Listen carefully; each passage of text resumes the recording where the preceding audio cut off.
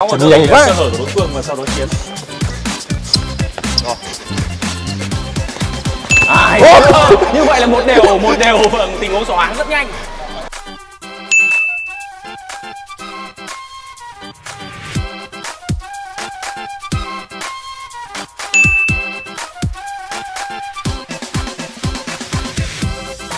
tình huống này thì Ngọc Phát đã thể hiện cái sự kinh nghiệm của mình là một trong những người sổ háng được nhiều người nhất tại Việt Nam.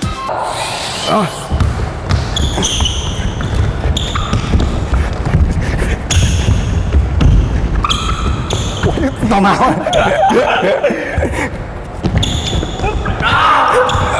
một một không một không nữa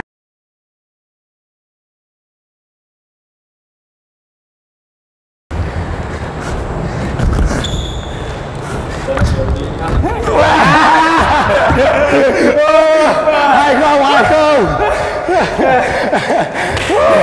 Cao quả không à rồi.